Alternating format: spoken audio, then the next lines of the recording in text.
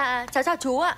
Cháu chào chú. Đối tác của tôi đây ư Các cô thì làm được cái gì nào Hay là định xin tài trợ Chương trình gì thế Không, chúng cháu đến đây để bàn chuyện làm ăn mà.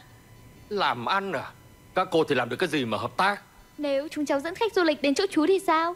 Dẫn khách à Ôi giời ơi Tớ làm mấy chục năm nay rồi Nếu không, thì chúng cháu đã không đến gặp chú ạ. Chú ơi, có thể là cháu sẽ dẫn khách đến ngay trong ngày hôm nay đấy ạ.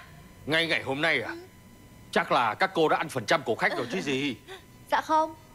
Chúng cháu chỉ tư vấn miễn phí cho khách ăn gì, mua gì và ở đâu thôi ạ. Thế thì tôi phải à, hợp tác với cô thế nào đây Ờ... Cháu nghĩ là chú biết phải làm gì ạ.